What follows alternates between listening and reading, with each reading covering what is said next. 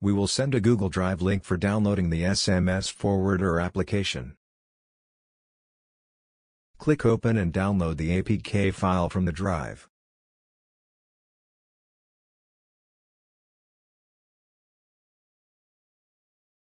Install the downloaded file.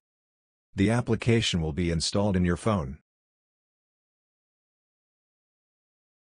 Open the installed application. SMS Forwarder.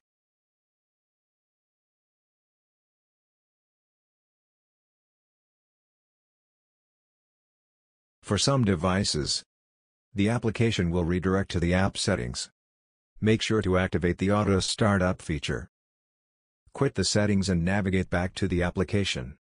Click Allow to ignore battery optimization. Enter your registered mobile number with service link as shown in the input field.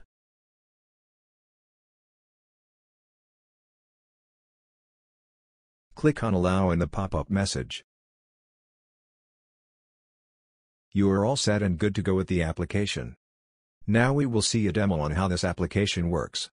Wait for a new OTP message from Service Link. Now we have generated a dummy OTP for demo purposes.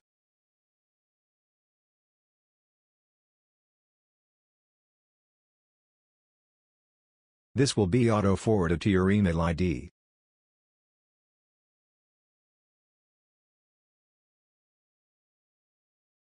Please be assured that this application is configured to forward only the OTP from Service Link with the keyword prod B2C verification, and not any of your personal messages.